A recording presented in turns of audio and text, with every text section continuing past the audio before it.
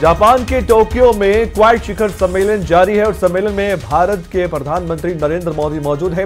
विदेश मंत्री एस जयशंकर भी सम्मेलन में शामिल होने के लिए पहुँचे हैं। अमेरिका के राष्ट्रपति जो बाइडेन भी इस कार्यक्रम में शामिल हुए हैं।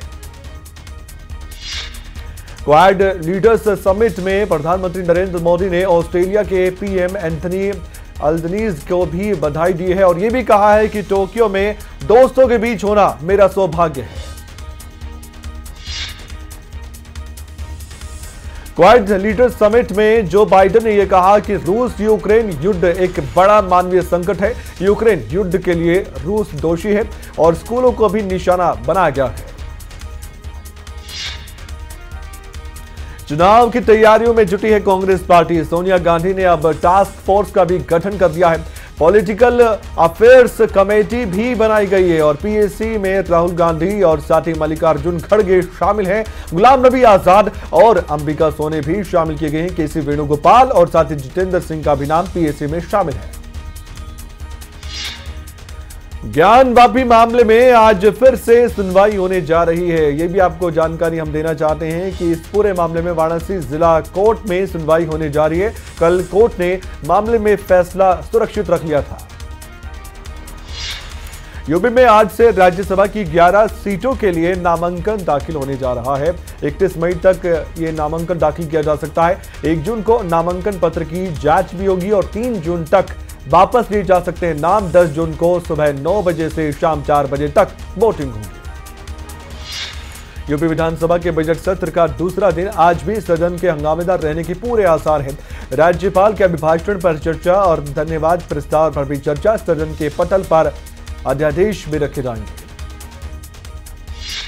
दिल्ली वासियों को सौगात मुख्यमंत्री केजरीवाल देंगे और डेढ़ सौ इलेक्ट्रिक बसों को हरी झंडी फ़िलहाल दिखा भी दी गई है। तीन दिनों तक मुफ़्त यात्रा भी लोग कर पाएँगे और राजधानी में कुछ हद तक पॉल्यूशन भी कम हो सकता है। दिल्ली मिशन की अब शुरुआत हो चुकी है। दिल्ली के 16,000 पार्कों का भी सौंदर्यकरण किया जाएगा। दिल्ली के पर्यावरण मंत्री गोपाल राय ने इस बात की जानकारी खुद दी है। करनाल में महर्षि कश्यप जयंती का कार्यक्रम। मुख्यमंत्री मनोहर लाल ने इस कार्यक्रम में शिरकत की है। ये भी आपको बता दें कि संसद सांसद संजय भाटिया भी इस कार्यक्रम में मौजूद है। मुख्यमंत्री मनोहर लाल ने लंगर ग्रहण किया। अनाज मंडी में महर्षि कश्यप जयंती मनाई जा रही है।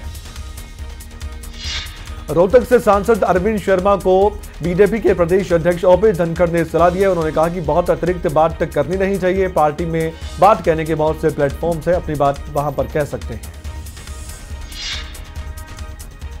मुख्यमंत्री पुष्कर सिंह धामी की शहीद करतार सिंह सराभा को उन्होंने श्रद्धांजलि दी है। शहीद करतार सिंह सराभा की जयंती पर उन्होंने शत शत नमन किया। मुख्यमंत्री पुष्कर सिंह धामी ने एक ट्वीट भी किया और कहा कि आपका जीवन हमें सदैव राष्ट्र सेवा के लिए प्रेरित करता रहेगा। 24 मई को हिमाचल कैबिनेट की बैठक होने जा रही है। मुख्यमंत्री जयराम ठाकुर बैठक की अध्यक्षता करेंगे। बैठक में तमाम कैबिनेट मंत्री मौजूद रहेंगे सुबह साढ़े दस बजे। राज्य सचिवालय में बैठक होगी। कैबिनेट बैठक के लिए कई अहम फैसले लिए जा सकते हैं। प्रधानमंत्री नरेंद्र मोदी का हिमाचल का दौरा है। शिमला नागरिक सभा में रैली स्थल पर अब आपत्ति जताई गई है। सभा के संयोजक और पूर्व मेयर संजय चौहान ने अपनी मांग उठाई है रिज के स्थान पर अनाडेल में रैली करने की मांग की गई है। शिमला में कांग्रेस की प्रदेश अध्यक्ष प्रतिभा सिंह ने केंद्र सरकार पर निशाना साधा, पेट्रोल, डीजल के दामों को कम करना उन्होंने चुनावी संट करार दिया। शिमला में कई जगहों पर हल्की बारिश का दौर लगातार जारी है। अब आपको बता दें कि शिमला में भी कई क्षेत्रों में बरसात से तापमान में गिरावट दर्ज की गई है। मौसम विभाग ने अब येलो अलर्ट जारी किया है। शिमला समेत प्रदेश के कई जिलों में अलर्ट है बरसात का और अगले दो से तीन घंटे तक बारिश का दौर यूँ ही जारी रह सकता है। धर्मशाला में मौसम का मिजाज बदल गया। तेज हवाओं के साथ बारिश यहाँ भी हुई। अभी भी आसमान में बादल छाए हुए हैं। तापमान में गिरावट दर्ज की गई।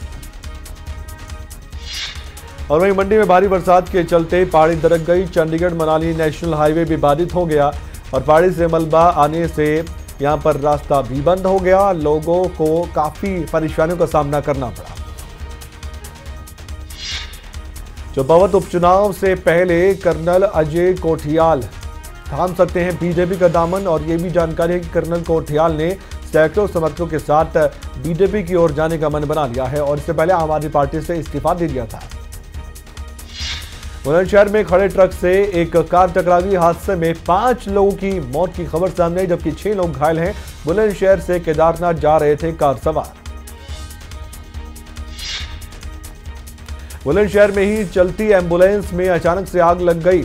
झुलसने से एंबुलेंस चालक की मौत की खबर है। पुलिस ने शव को पोस्टमार्टम के लिए भेजा है और वहीं 102 एंबुलेंस पर ईएमटी के पद पर मृतक तैनात था। केदारनाथ मार्ग पर अब सेल्फी पॉइंट भी बनेगा। ये भी आपको जानकारी दे दें कि जनरल बिपिन रावत के नाम सेल्फी पॉइंट बनेगा और पर्यटन मंत्री सतपाल महाराज ने इस बात की जानकारी खुद दी है।